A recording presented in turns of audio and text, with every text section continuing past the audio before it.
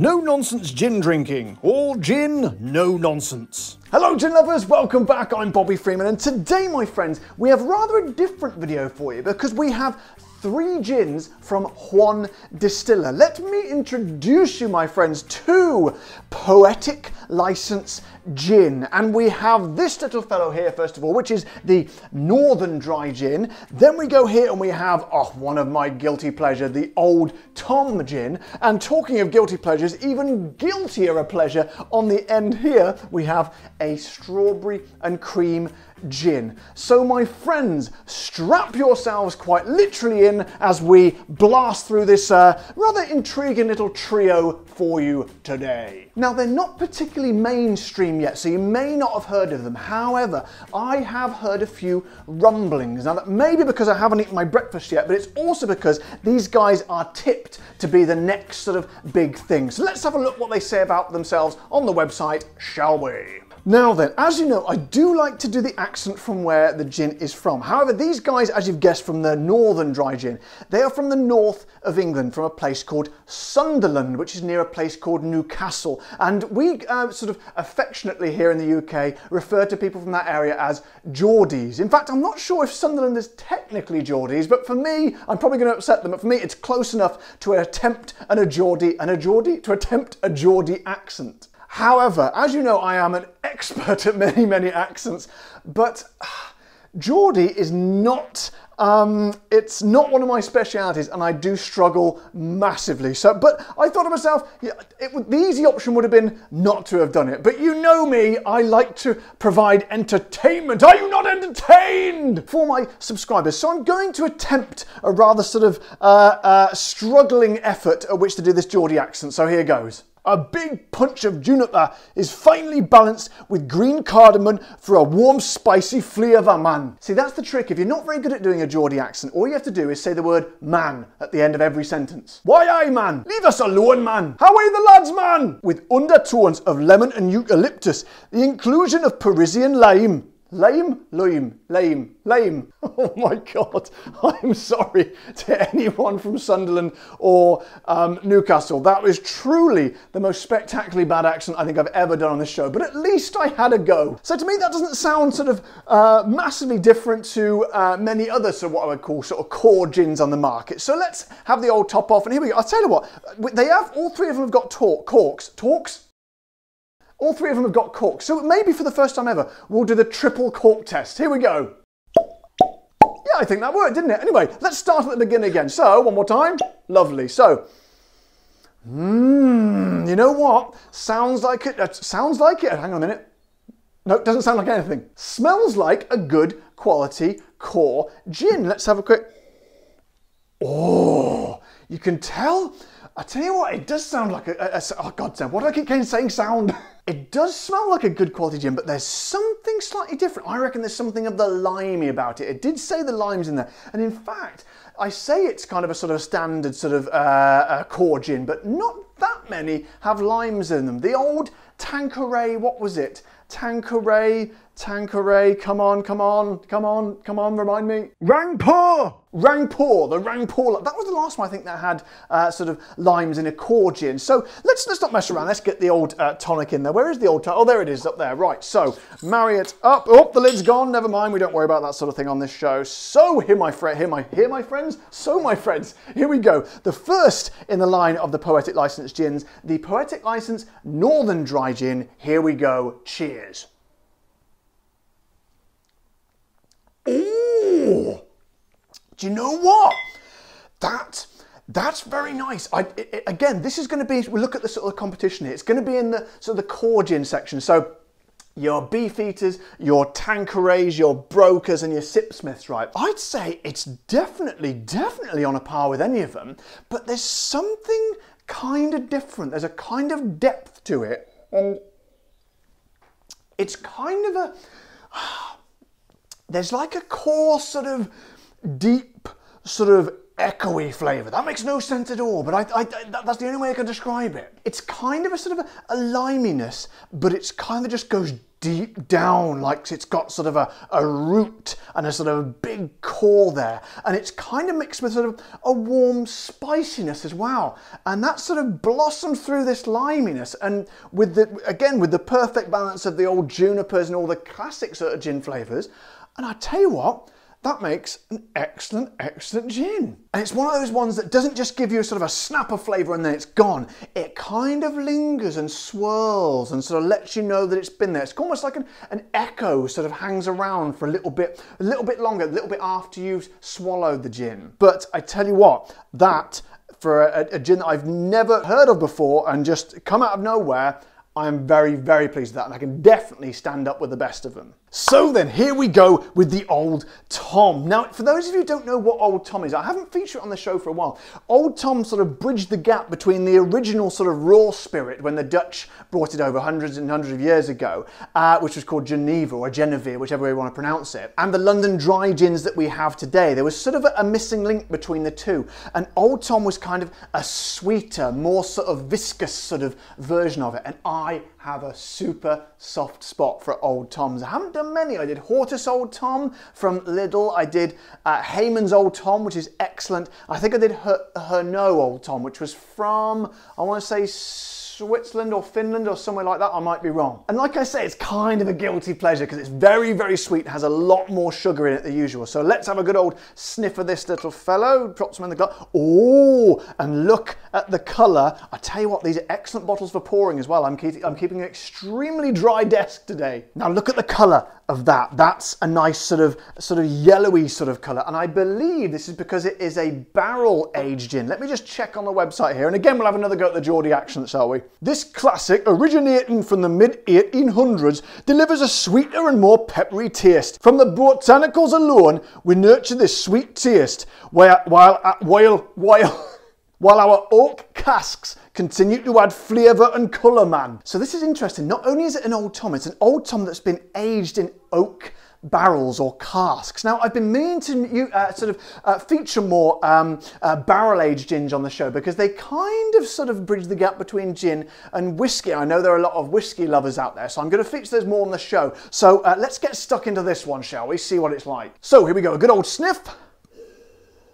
Mmm, yeah, exactly what I was expecting of an old Tom. Kind of thick and, as I say, viscous. I use this word quite a lot, but it's the perfect way to describe an old Tom. But there's a kind of a woody, sort of warm tingliness about it, which is what you expect when it's been uh, aged in those barrels. So, marry up with a little bit of tonic in there, not too much because this is going to be really big flavours in this one. So, here we go. Uh, poetic license, Old Tom. I say, a cheers. Oh, now this oh, this is a different gin. This is a different way, actually, in fact, of enjoying gin because I, as I say, I love old Tom. It's lovely and sweet and kind of thick and almost kind of treacly, but don't imagine actual treacle. Bring it back to about 5% of what treacle is, the thickness and everything. You're kind of sort of in that area. However, my friends, when you marry that with that thick sweetness of the old Tom and want and kind of offset it against the other, you've that makes something truly special and spectacular. oh man, it's kind of warm and sort of, uh, sort of, well, warming, uh, but at the same time, tingly and sweet and spicy, and it Oh, it just works beautifully. And what a difference as well. What a contrast to their original gin. These guys have clearly got a, one hell of an imagination. And that's what I, that's what you need if you're going to produce gin. You need imagination because there are so many out there. You need to be imaginative and original and make things that are going to make your brand stand out from the rest. So then, my friends, we have had the starter, we have had the main course, and now it is time for the dessert because let's get stuck into the old strawberry and creams. Let's see what they say about this before we have a good old slug of it. Uh, shall we go for the Geordie accent one more time? Why not? Let's torture you a little bit more. Sat on a checkered blanket, man, in the park, man, with friends while the sun is shining, man. That's our recommended way to enjoy this strawberry and cream gin, man. We recommend serving it with premium elderflower tonic water over ice and a fresh strawberry, man. Okay, right, that's it. I promise. No more terrible Geordie. There are Geordies literally chucking their TVs and, and, laptops out of the window as we speak in protest at my awful accent. However, let's not get distracted. Let's give this little fellow a sniff. So, uh, and before we do, let me pop that back in quickly. We did have one which I wasn't technically strawberries and cream before, but it kind of tasted like it to me. And this was way back at the beginning of the channel. And it was this one, the King of Soho Variorum gin. And it's kind kind of strawberry and sort of essence of vanilla in there, which to me made it taste like strawberry and cream. And I actually wrote to them and said, why have you called this Variorum gin? And apparently a Variorum, if you look it up, it's something like a, like a, a, a second copy of the original version, which, which, which I guess makes sense because it's a, a, copy of the original uh, King of Soho gin, which is up there. But who gives a damn? Who knows what the word variorum means? It's very sort of pretentious and impressive, but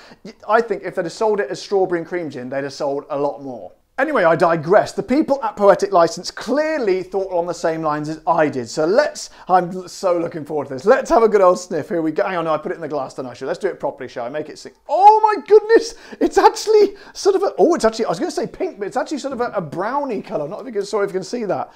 Wow. Okay, and I, I could smell it already. I literally, the, sometimes the smell just cannot wait to get up the nostrils. So, so give it a bit of a helping hand showing on. Oh, oh my God.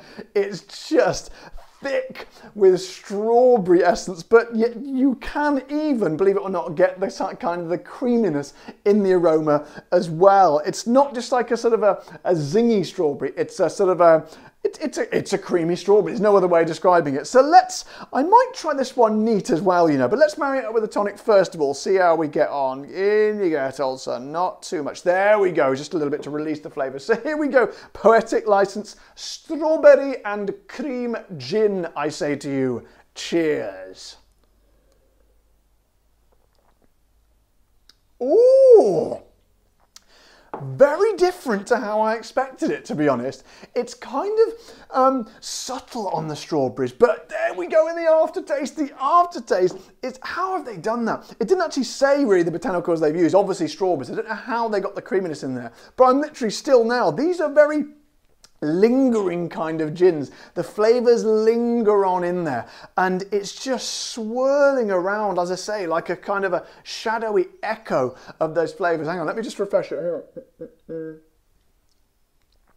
Do you know what? I'm not sure if this one is cask, uh, cask aged as well, but I'm, I'm getting, maybe because that colour, I, I wouldn't be surprised if this one has got a bit of the cask age action going on as well. Because along with those strawberry and sort of beautiful creamy vanilla sort of essence in there, there is a kind of a, a lingering sort of, ah, I, I, want to use a different word to woodiness, almost like a sort of a, ah, kind of a, warm bark sort of taste. There's definitely something of the wood about it, but there's something that lifts it out, something kind of slightly more zingy about it. It's almost a little bit kind of Christmassy. Maybe it's cinnamon. Maybe there's a bit of cinnamon in there or something. Just kind of lifting, teasing out of those sort of bed of sort of thick flavours. I don't know. I'd like to sort of be interested to know more about the botanicals. But again, what I like about it, there's lots of strawberry gins out there. You've got Brokers have got a strawberry one here. You've got obviously the uh, King of Soho there, which I mentioned. You've got Beefeater over there, which has got a strawberry.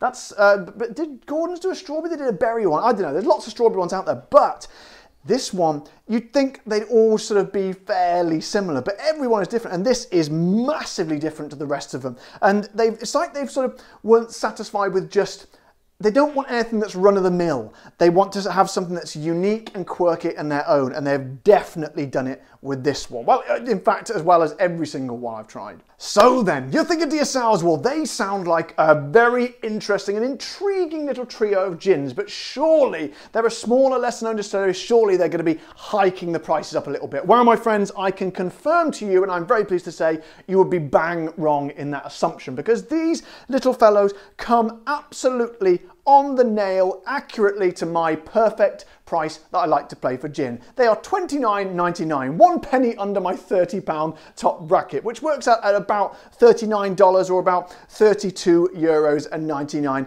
cents. And my friends, if you ever ever wanted to try some unique and uh, genuinely sort of authentic and sort of original gins for that price, that is bloody excellent. And in fact, I say to you guys at the Poetic License Distillery, keep up the good work, my friends.